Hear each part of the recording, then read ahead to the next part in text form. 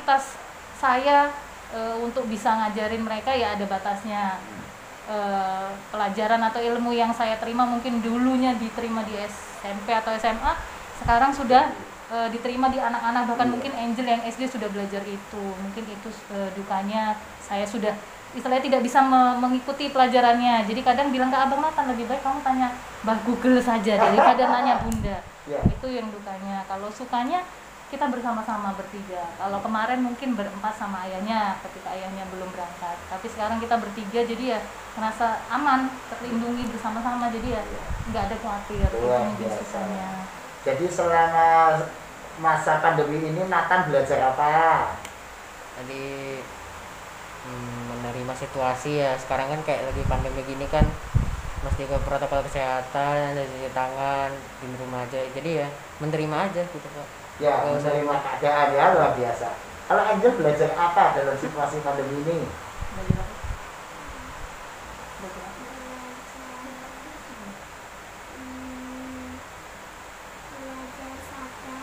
Sabar, apalagi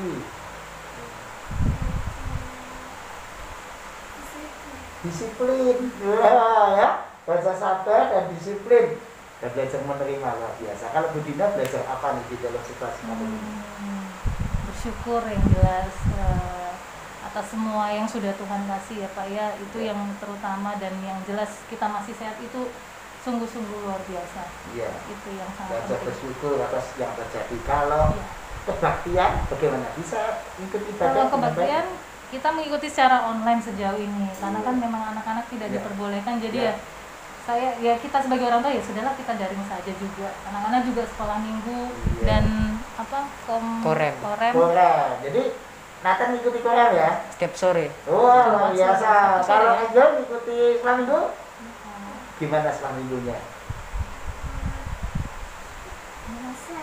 Seru ya. Duduk Flamingo, Flamingonya seru ya, kata Angel ya. Nah, selamat kebaktian semuanya. Saya bersama Budina, Angel dan Nathan semuanya. Halo.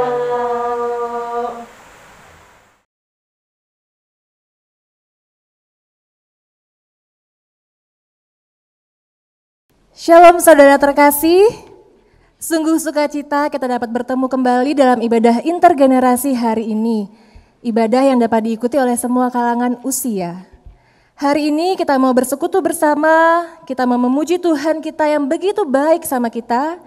Kita mau sembah dia dengan segenap hati kita, kita mau puji dia dengan segenap jiwa kita. Kita mau mengenalnya lebih dalam lagi. Kita pujikan lebih dalam lagi.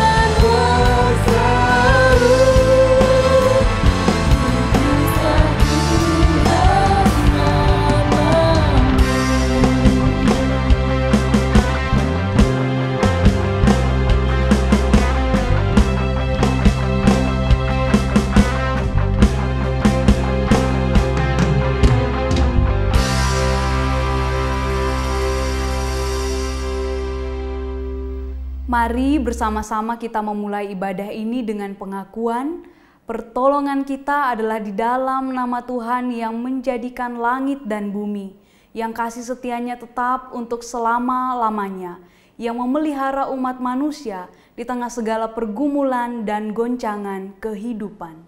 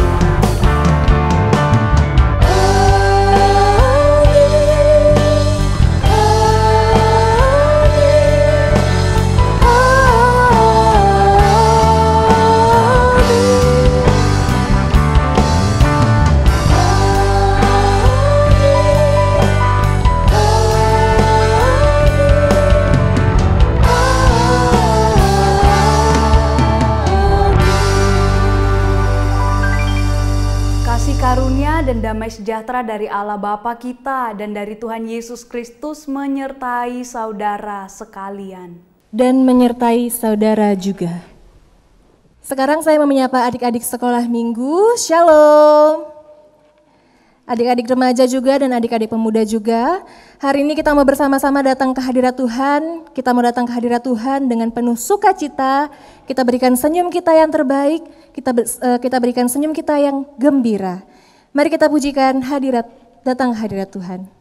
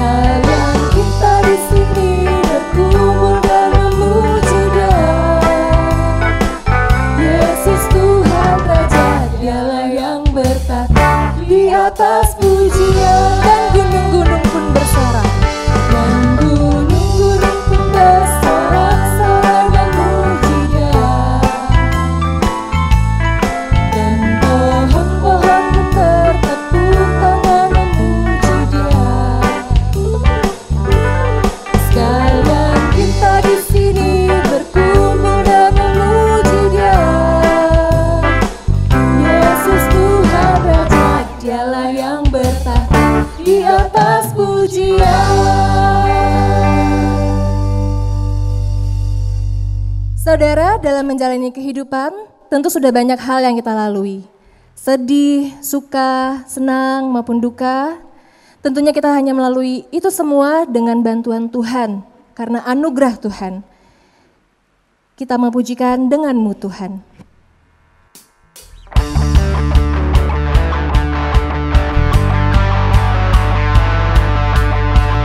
Mari kita bersuka, kita nyatakan kita tidak pernah ragu akan kesetiaan Tuhan.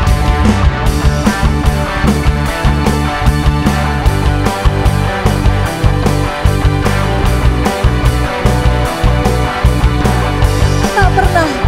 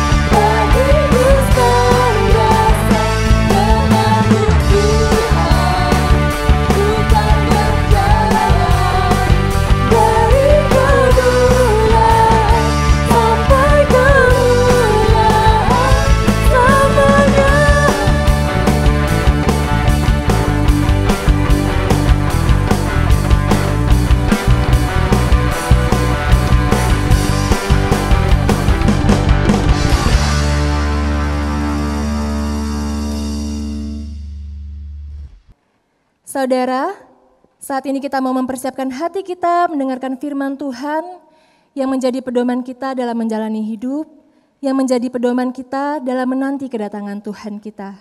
Oh datanglah Immanuel.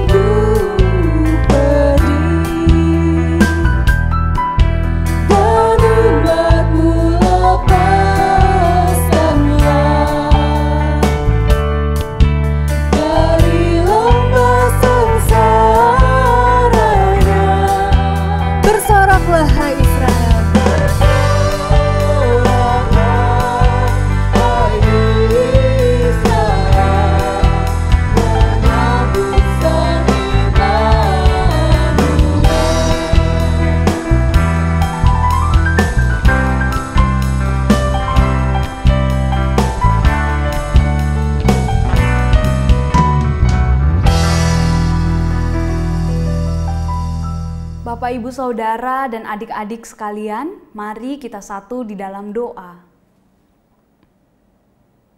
Ya Tuhan Allah kami, kami merindukan sapaan Tuhan.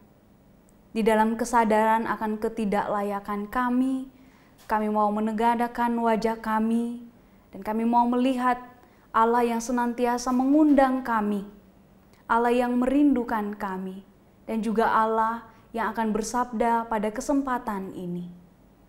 Kiranya hati kami boleh menjadi tempat yang subur bagi firman Tuhan.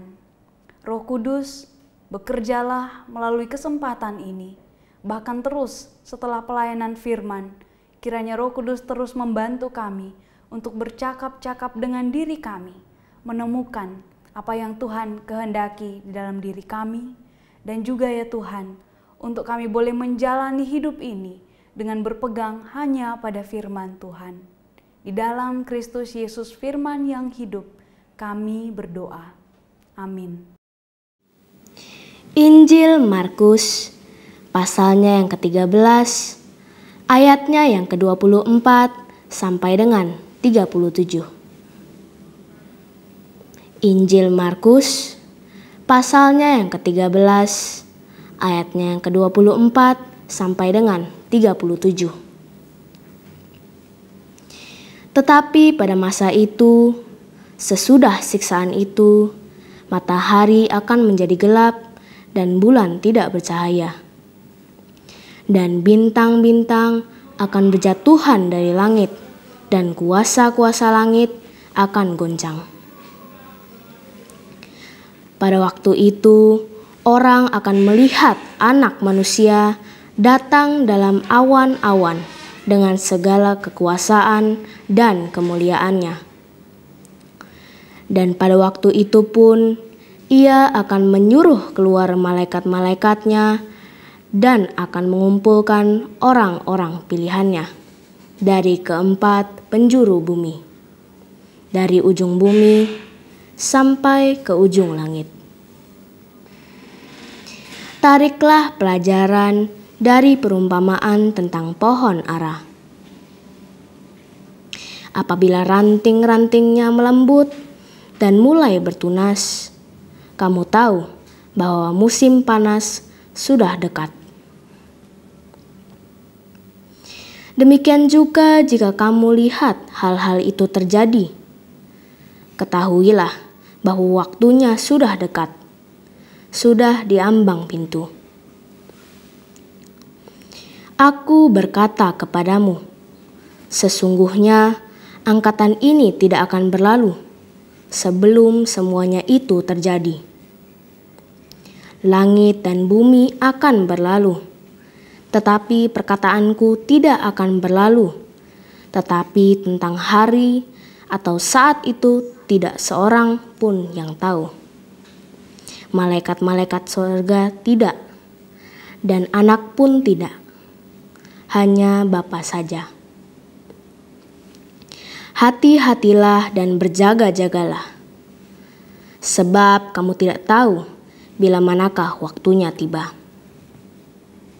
Dan halnya sama seperti seorang yang berpergian, yang meninggalkan rumahnya dan menyerahkan tanggung jawab kepada hamba-hambanya masing-masing dengan tugasnya, dan memerintahkan penunggu pintu supaya berjaga-jaga. Karena itu, berjaga-jagalah, sebab kamu tidak tahu bila manakah tuan rumah itu pulang, menjelang malam, atau tengah malam, atau larut malam, atau pagi-pagi buta supaya kalau ia tiba-tiba datang, jangan kamu didapatinya sedang tidur. Apa yang kukatakan kepada kamu, kukatakan kepada semua orang. Berjaga-jagalah. Demikianlah Injil Yesus Kristus.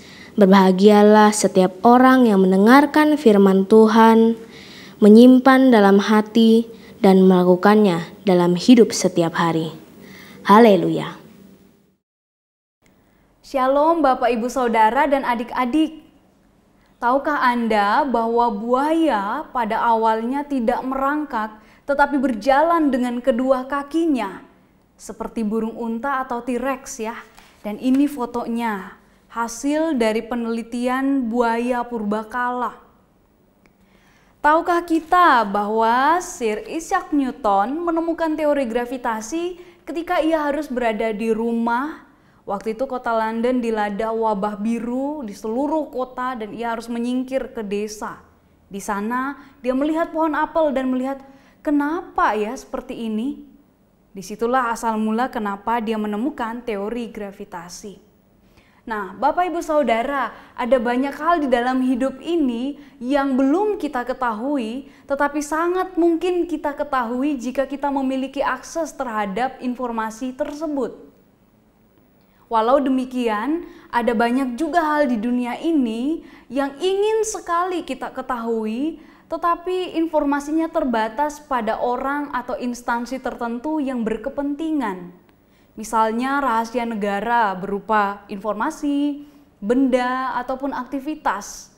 Hanya orang-orang tertentu yang boleh mengetahui informasi negara ini karena akan mengakibatkan gangguan bahkan mengancam kedaulatan suatu negara.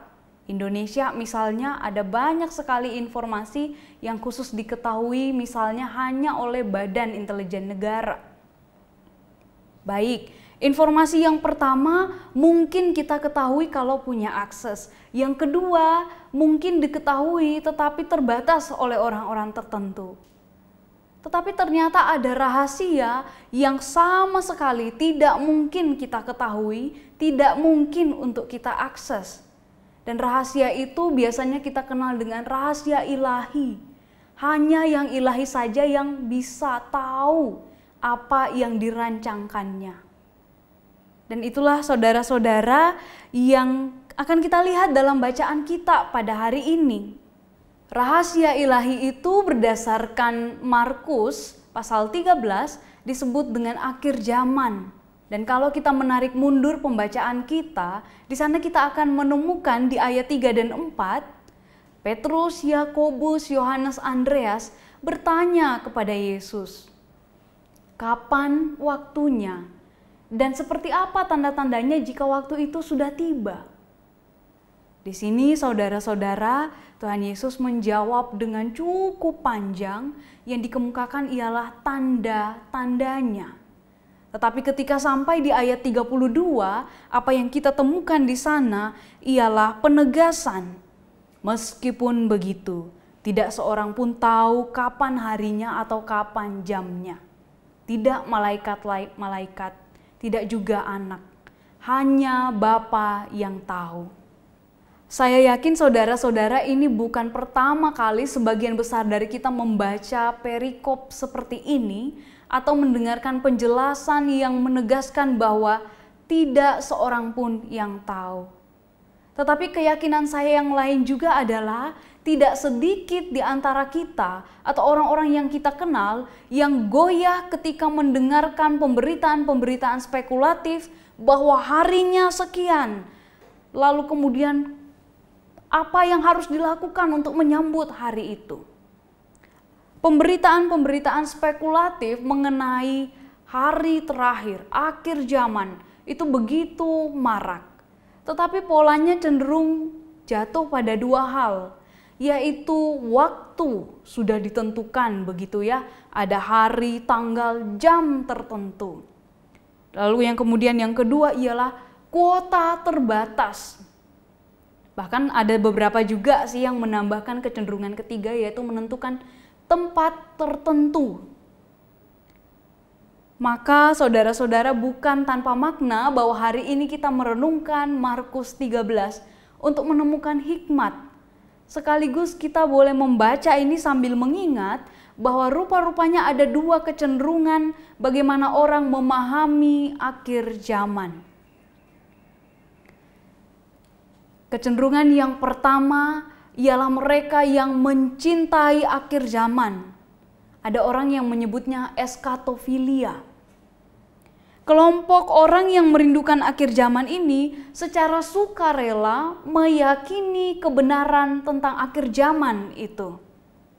Mereka sukarela mempercayai apa-apa yang dianjurkan oleh si pemberita untuk kemudian melakukan hal-hal tertentu. Oke, saya lakukan ini supaya saya mendapatkan surat izin memasuki akhir zaman. SIM A begitu saya menyebutnya sukacita melakukannya, menerimanya. Tetapi ada yang terkubur di bawah yang tidak terlihat bahwa motif umum dari pemberita akhir zaman yang spekulatif itu senantiasa punya motif untuk keuntungan pribadi. Paling tidak dia ingin menambah pengikut. Atau kemudian yang kedua, keuntungan secara ekonomi melalui hal-hal tertentu yang disampaikan, misalnya investasi kerajaan Allah. Ayat yang biasa dipakai untuk ini adalah jangan kumpulkan hartamu di dunia, ngengat dan karat merusakannya. Lalu kemudian orang berbondong-bondong, mengambil depositonya, mencairkan tabungannya, dan menyerahkan sebagai investasi kerajaan Allah. Sebenarnya pertanyaan yang bisa disampaikan adalah kapan Anda menjadi agen investasi kerajaan Allah?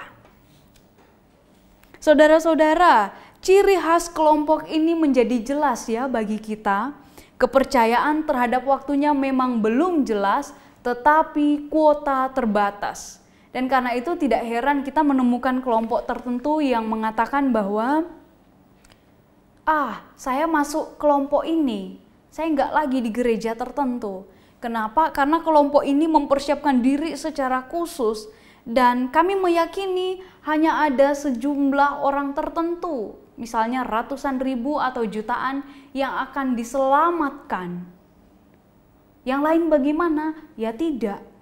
Nah, kalau ratus ribu atau juta begitu kita menghitung saudara-saudara, bagaimana nasib orang yang berjumlah 7,75 miliar di seluruh dunia.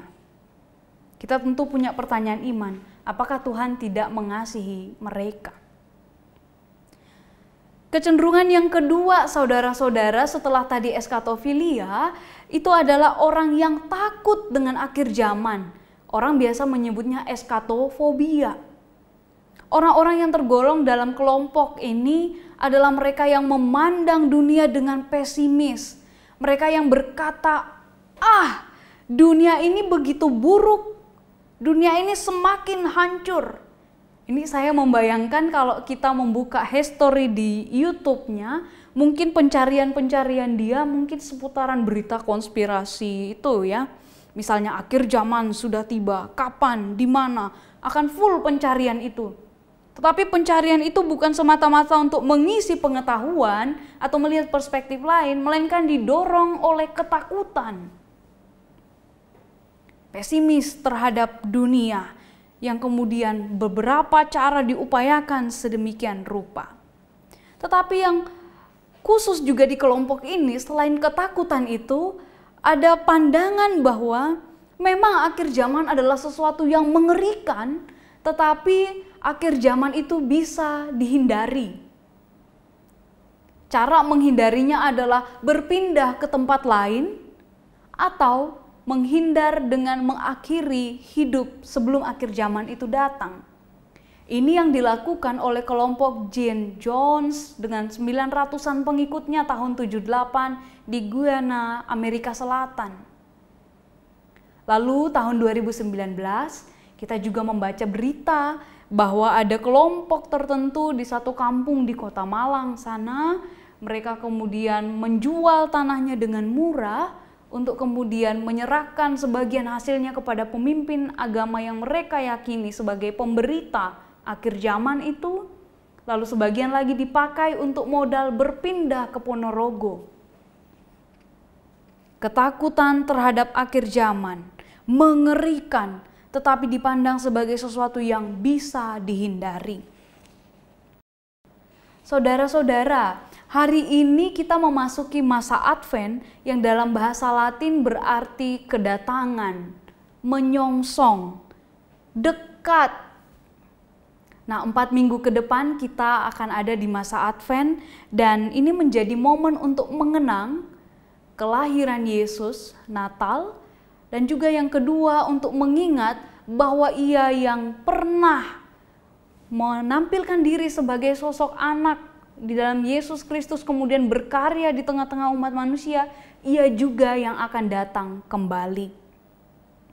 Ketika merenungkan Mas Markus pasal 13 ini, saya teringat bahwa di masa Advent lilin nomor satu yang dinyalakan Bapak Ibu Saudara itu sering kali disebut dengan lilin harapan. Lalu muncul pertanyaan dalam diri saya ketika merenungkan bagian ini, bagaimana kita yang secara manusiawi ini dihantui kecemasan bisa memilih berdiri sebagai orang yang memiliki pengharapan? Bagaimana kemudian orang-orang yang meletakkan pengharapannya di dalam Tuhan sekaligus adalah orang yang berjaga-jaga.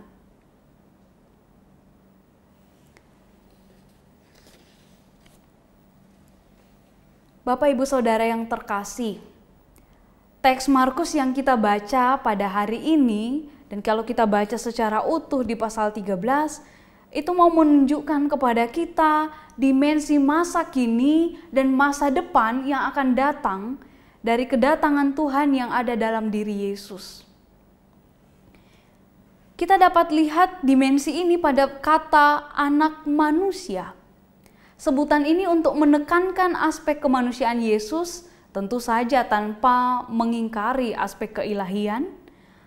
Lalu kemudian di ayat 26 ini kemudian bisa dapat kita baca bahwa dia, Yesus yang saat itu berkata seperti itu, ada di antara para murid, dia yang sedang berkarya, adalah juga dia yang akan datang sebagai anak manusia di dalam awan, dengan kekuasaan dan kemuliaannya. Kalau begitu saudara-saudara, ini kabar sukacita buat para murid di saat itu. Ini juga kabar sukacita buat kita saat ini bahwa Tuhan bukanlah Allah yang menciptakan dunia lalu meninggalkan dunia dalam keadaan berantakan, meninggalkan dunia dalam keadaan yang penuh penderitaan.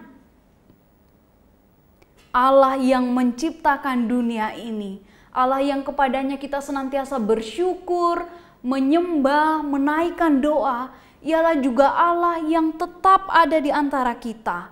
Allah itu sendiri adalah Allah yang berproses bersama ciptaannya menuju pada pembaharuan yang paripurna.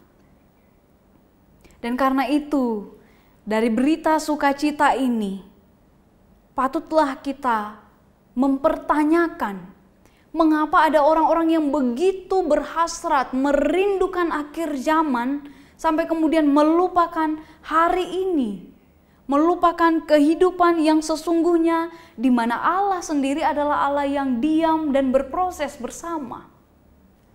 Murid-murid yang bertanya kepada Yesus dalam Injil Markus, sesungguhnya adalah gambaran orang-orang yang menderita dan sungguh-sungguh mengharapkan pembebasan dari Tuhan. Saya teringat Bapak Ibu Saudara dalam beberapa kali kunjungan terhadap mereka yang sakit. Mereka yang selama ini, selama hidupnya aktif berkegiatan, tetapi pada kondisi tertentu dia harus terbaring lemah, hanya menantikan pelayanan dari orang-orang yang ada di sekitar. Orang-orang seperti ini kemudian beberapa di antaranya berkata dengan kalimat yang kurang lebih berkata seperti ini.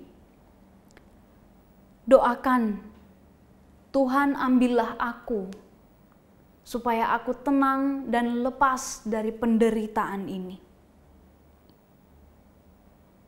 Permintaan doa ini adalah permintaan doa yang lahir dari keyakinan bahwa perjumpaan dengan Tuhan adalah perjumpaan yang menenangkan. Inilah yang juga dibayangkan oleh orang-orang yang menderita karena persekusi di bawah pemerintahan kekaisaran Nero, termasuk para murid.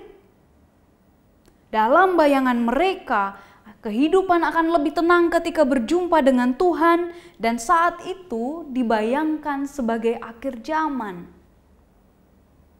Tetapi, apakah akhir zaman dalam perspektif para murid dan orang-orang yang sedang menderita itu sama dengan yang Yesus ingin sampaikan. Apa yang ditawarkan Yesus, saudara-saudara, justru bukanlah akhir zaman, melainkan zaman baru. Bahwa ya, hari itu akan datang, tetapi hari itu bukan akhir yang memisahkan bahwa selesai. Orang ini yang diselamatkan, ada orang lain yang selesai, biarlah hidupnya tanpa Tuhan tahu. Tetapi yang ditawarkan di sini adalah gambaran pohon ara yang bertunas. Pohon ara yang bertunas menandakan bahwa musim dingin yang gelap, yang seram, yang mencekam itu sudah lewat. Sekarang yang tumbuh adalah kehidupan baru. Pohon ara yang bercabang, bertunas itu kemudian akan menjadi besar, menjadi tempat perteduhan dan inilah gambaran damai sejahtera, sukacita, bahkan kemakmuran. Tuhan akan datang. Tetapi ia sendiri yang akan datang itu mengatakan bahwa Hei, aku ada di sini di antara kamu. Dan ketika tiba waktunya, apa yang sama dengan itu ialah damai sejahtera dan sukacita akan tetap ada. Bukankah ini maksud kedatangan Tuhan untuk kita, saudara-saudara? Memberi damai sejahtera, memberi sukacita. Lalu, bagaimana bisa saya dan saudara menjalani hari-hari dengan kecemasan, dengan ketidaksukacitaan? Itu karena kita gagal fokus dari apa yang seharusnya menjadi perhatian kita. Apa yang seharusnya menjadi perhatian kita itu ialah hari ini, di sini, dan apa yang bisa saya lakukan untuk hari ini.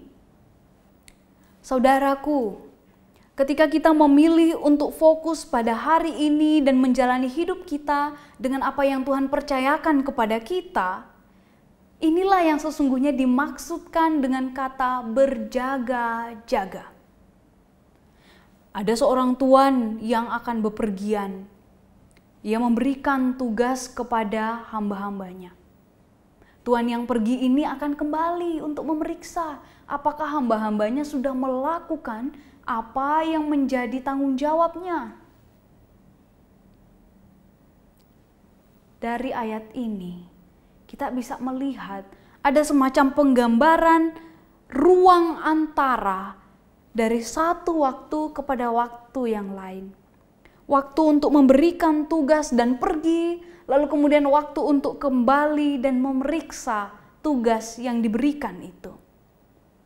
Nah, kalau kita membayangkan saudara-saudara, ruang antara inilah yang menjadi spot, yang menjadi tempat kita untuk bergerak, untuk berkarya dengan damai dan sukacita. Bisakah kita membayangkan bahwa aku mau ruang antara ini aku isi dengan hal-hal yang sesuai dengan tugas yang diberikan kepadaku? Dan bayangkan betapa indahnya jika dalam relasi antara orang tua, pasangan, persahabatan, komunitas kita, kita memilih semuanya itu karena damai dan sukacita. Saya membayangkan di sana akan ada apresiasi yang mengimbangi kritik. Di sana akan ada usaha untuk melakukan extra mile terhadap apa yang standar. Di sana akan ada keinginan untuk saling membangun ketimbang untuk menghancurkan yang lain. Saya juga membayangkan saudara-saudara di dalam pengambilan keputusan kita, baik untuk kehidupan pribadi maupun dalam tugas kita sebagai pemangku jabatan, peran tertentu.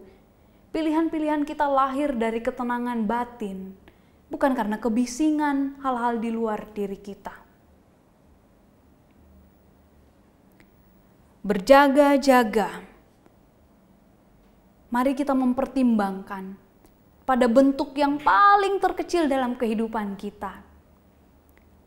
Sebagai seorang anak, orang tua mendidik kita sedemikian rupa dalam penuh dengan kasih sayang, lalu kemudian menginginkan kita untuk bertumbuh menjadi pribadi yang gembira, yang sukacita, yang semangat melakukan tanggung jawab kita.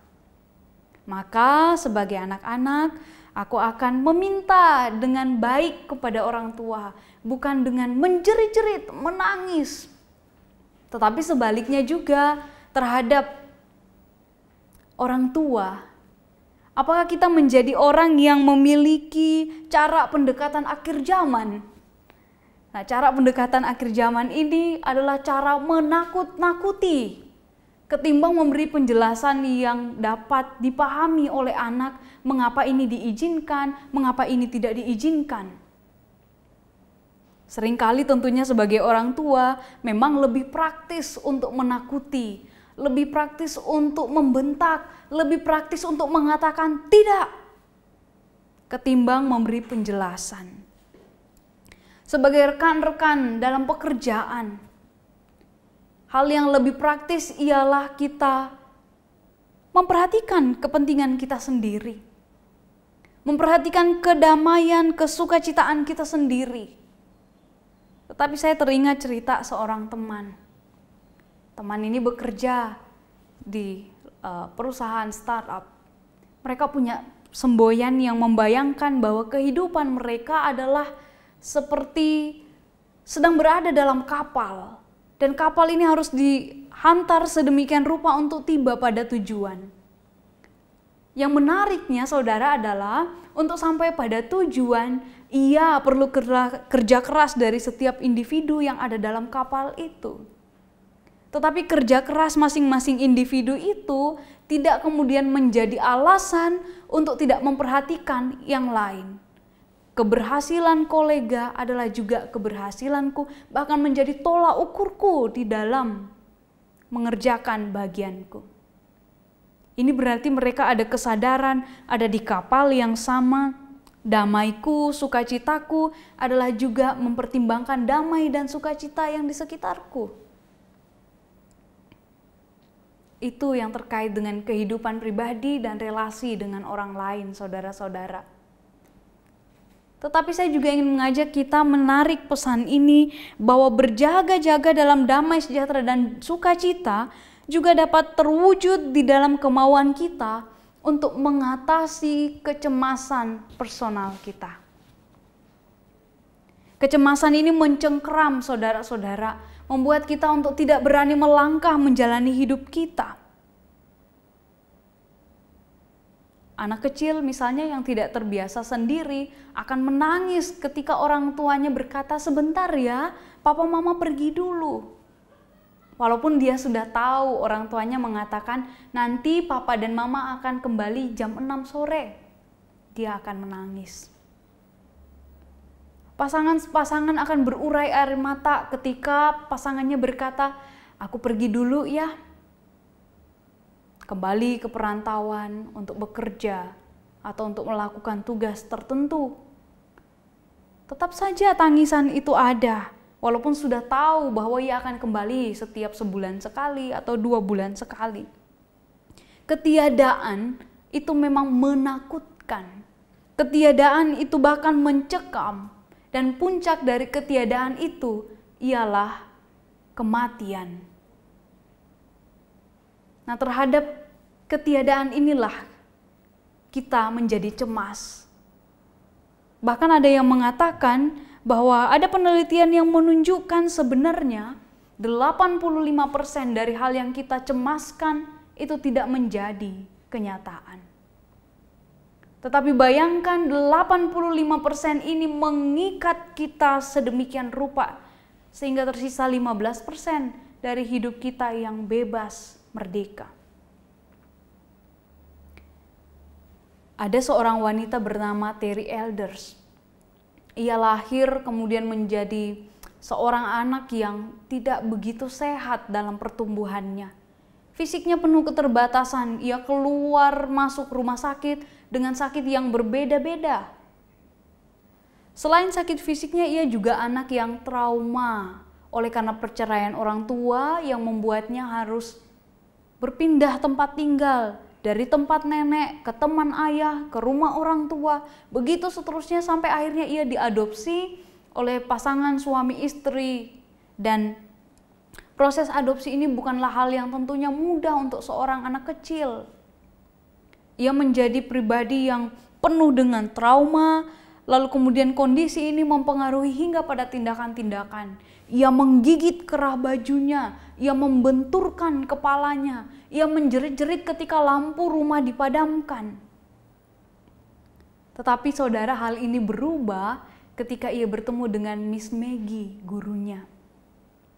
Miss Maggie ini memulai dengan memberi perhatian yang tulus.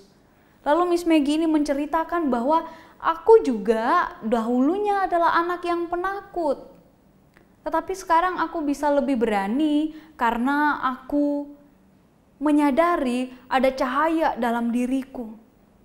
Cahaya dalam ini yang menuntun aku untuk memilah pikiran negatif, pikiran positifku. Cahaya dalam ini yang menuntun aku untuk berjalan terus sekalipun aku tidak yakin, sekalipun aku penuh ketakutan. Cahaya dalam ini yang memberiku kacamata positif untuk memandang bahwa dunia ini baik dan akan terus menjadi baik. Cerita Miss Maggie kepada Terry Elders mengubahnya menjadi pribadi yang lebih berani dan terutama bisa mengatasi hal-hal yang ketika itu muncul gejala-gejala kecemasan yang dirasakan ia kemudian oke okay, tenang, diam, lalu kemudian mulai melangkah lagi dengan pikiran yang positif. Ini pasti berlalu. Nah, saudara-saudara, apa yang menjadi cahaya di dalam diri kita? Apakah cahaya dari Tuhan yang memberi tanda damai, sejahtera, dan sukacita? Atau kita mengizinkan cahaya di dalam kita dikuasai oleh ketakutan akan ketidakpastian, ketakutan akan ketiadaan, ketakutan akan keinginan untuk mengetahui banyak hal yang sesungguhnya di luar kapasitas kita. Kiranya firman Tuhan hari ini boleh menjadi peneguhan bagi kita bahwa kita tidak tahu, seorang pun tidak hanya Bapa yang tahu. Tetapi apa yang justru kita ketahui hari ini bahwa Dia adalah Allah yang tetap ada di sini. Ia Allah yang diam dan berproses bersama dengan kita. Tuhan menolong kita untuk menghidupi hari demi hari. Amin. Dari Tuhanlah ketenangan kami. Dari Tuhanlah cahaya di dalam diri kami. Kami sungguh meyakini bahwa di atas semua hal yang tidak kami ketahui, Tuhan terus ada bersama-sama dengan kami, bahkan Allah tidak meninggalkan kami. Allah berjalan bersama kami, berproses dalam kehidupan ini. Terima kasih Tuhan. Terima kasih. Amin. Jemaat terkasih, kembali kita akan memperbaharui iman percaya kita dalam pengakuan iman rasuli yang akan kita nyanyikan dari Kidung Jemaat 280. Aku percaya.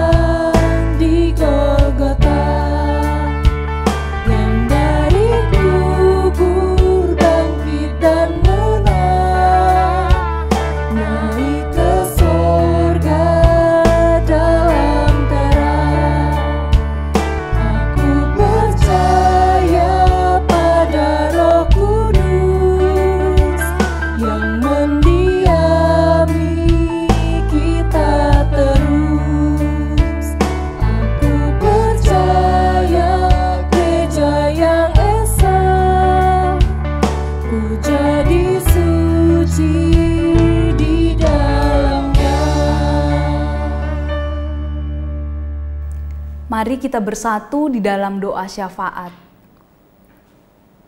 Ya Tuhan Allah kami, Allah yang memiliki kehidupan kami, yang juga Allah yang turut berproses dalam setiap peristiwa kehidupan kami. Kami bersyukur Tuhan bahwa kami boleh ada hingga saat ini semua karena kebaikan Tuhan. Bahkan ketika kami menjalani hari-hari di dalam ketidakpastian menurut ukuran waktu di dalam kemanusiaan kami. Tetapi kami diingatkan bahwa fokus kami adalah kepada Tuhan sendiri. Hal-hal yang di luar pengetahuan kami, kami berserah penuh untuk senantiasa itu boleh menjadi bagian Tuhan. Kami bersyukur, kami mengetahui bahwa Allah adalah Allah yang mempercayakan kami untuk menghidupi hari-hari kami dengan bertanggung jawab atas setiap pilihan hidup, atas setiap kesempatan yang dianugerahkan kepada kami. Ya Tuhan Allah kami, kami mengingat pada kesempatan ini, bangsa dan negara kami yang kami kasihi, Indonesia, bahkan untuk seluruh umat di mana pun di dunia ini. Kami memohonkan rahmat Tuhan untuk merangkul kami di dalam sakit, di dalam kesedihan, di dalam kehilangan. Rangkulan Tuhan itulah yang menenangkan kami, yang membuat hati kami percaya bahwa damai sejahtera dan sukacita sungguh-sungguh adalah dari Tuhan. Dan juga rangkulan Tuhan itu yang menguatkan kami untuk juga membuka tangan kami, merangkul orang-orang yang kami temui di dalam kehidupan kami. Mereka yang membutuhkan penguatan, penghiburan, penerimaan. Terima kasih Tuhan, teruslah kiranya menjadi Allah yang berbicara di dalam keseharian kami. Ya Tuhan, pada kesempatan ini kami mau mengingat sahabat-sahabat kami yang sedang bersedih hati oleh karena orang yang mereka kasihi sedang terbaring lemah karena sakit. Mereka yang merawat baik itu di rumah maupun di rumah sakit, obat-obatan, tenaga medis, semuanya adalah hal yang kami yakini sebagai cara Tuhan untuk turut bekerja di dalam segala sesuatu untuk mendatangkan kebaikan. Bagi saudara-saudara kami yang sedang sakit, kami mohon kiranya Tuhan menjamah mereka dan biarlah hati mereka senantiasa dipenuhi harapan, sukacita, dan damai sejahtera. Bahwa setiap keadaan, setiap peristiwa, Tuhan tidak meninggalkan. Tuhan Allah kami, kami juga mengingat sahabat-sahabat kami yang dalam kesempatan hidup yang kurang beruntung, mereka kemudian terpuruk oleh situasi yang ada. Mereka yang kehilangan pekerjaan, mereka yang pendapatannya menurun sehingga untuk menunjang keluarga mereka harus berjuang sedemikian rupa. Mereka yang harus meninggalkan profesinya untuk kemudian mempertahankan kehidupan bersama keluarga besar. Kami percaya Allah senantiasa berjalan bersama dengan mereka. Mereka tidak patah semangat, mereka tidak kehilangan kekuatan, sebab Allah sendiri yang menggenggam tangan mereka dan berkata, "Aku berjalan bersama engkau." Tuhan Allah kami, juga untuk saudara-saudara kami yang sedang berduka cita, secara khusus untuk keluarga besar Pendeta Paulus Lee yang baru saja mengalami duka cita oleh karena ibu yang terkasih. Sudah Tuhan panggil, tetapi dalam duka cita ini sama-sama juga kami terberkati oleh cerita-cerita baik yang boleh saling memberkati kami, bagaimana ibu yang terkasih boleh menjadi inspirasi bagi anak-anak, cucu, dan juga orang-orang lain di sekitar. Ada pula saudara-saudara kami, sahabat-sahabat kami yang kehilangan, yang mungkin tidak bisa kami sebutkan pada kesempatan ini. Kami percaya sebagaimana Tuhan merangkul mereka yang berduka cita, pemeliharaan Tuhan juga berlangsung untuk mereka. Tuhan, kami berdoa bagi GKI Gejayan, gerejamu, kiranya sungguh-sungguh menjadi tempat di mana setiap jiwa boleh bertumbuh lewat setiap partisipasi yang boleh diikuti di dalam pelayanan di gereja ini. Secara khusus kami membawa di dalam doa untuk sahabat-sahabat kami yang terlibat di dalam pelayanan kepanitiaan masa raya Advent, Natal hingga Tahun Baru. Kami percaya mereka boleh bekerja sama, boleh satu hati, dan mengelola setiap hal yang boleh dibicarakan, dipercakapkan. Semuanya untuk kami merayakan sukacita Natal itu sendiri. Dan juga ya Tuhan, untuk mereka yang merindukan untuk hadir di gerejamu, tetapi dalam kondisi seperti ini belum bisa. Mereka yang lanjut usia, mereka yang sakit, di dalam kerinduan yang sama kami percaya bahwa Tuhan juga hadir di setiap rumah-rumah. Tuhan juga ada menyapa setiap keluarga-keluarga. Terima kasih Tuhan, terima kasih. Ini doa kami. Terima dan sempurnakanlah. Di dalam Kristus Yesus kami berdoa. Amin. Umat yang dikasih Tuhan, kiranya hidup dan mata uang yang kita kumpulkan menjadi persembahan yang kudus dan berkenan di hadapan Tuhan. Mari kita mengumpulkan persembahan kita sambil mengingat pesan dari Mazmur pasal 4 ayat 6. Mari kita baca. Persembahkanlah korban yang benar dan percayalah kepada Tuhan.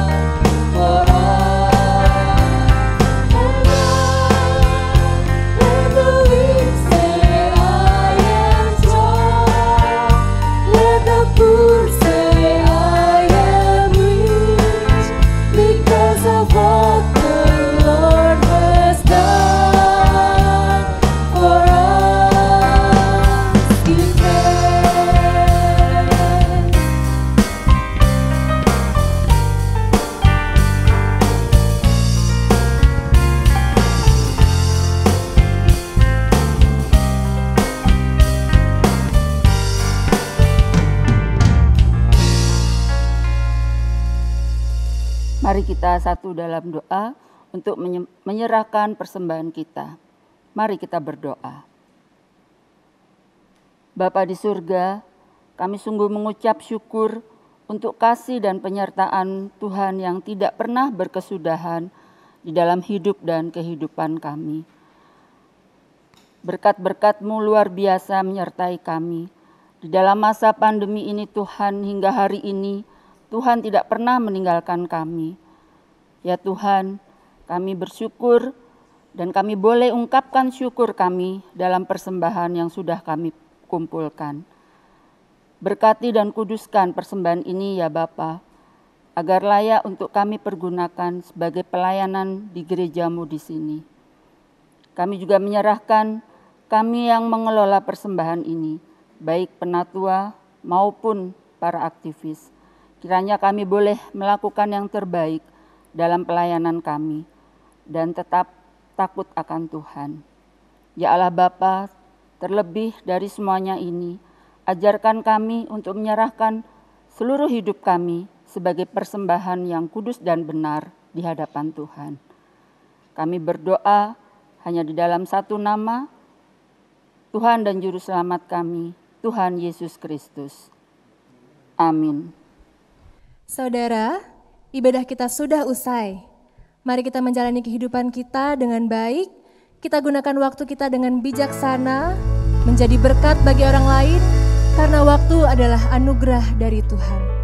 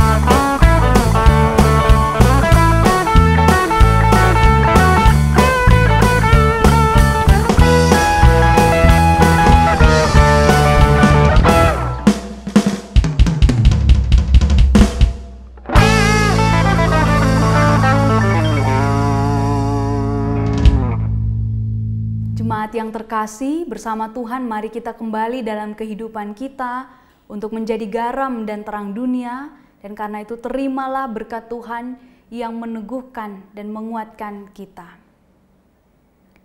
Tuhan memberkati kita dan melindungi kita. Tuhan menyinari kita dengan wajahnya dan memberi kita kasih karunia. Tuhan menghadapkan wajahnya kepada kita dan memberi kita damai sejahtera. Amin.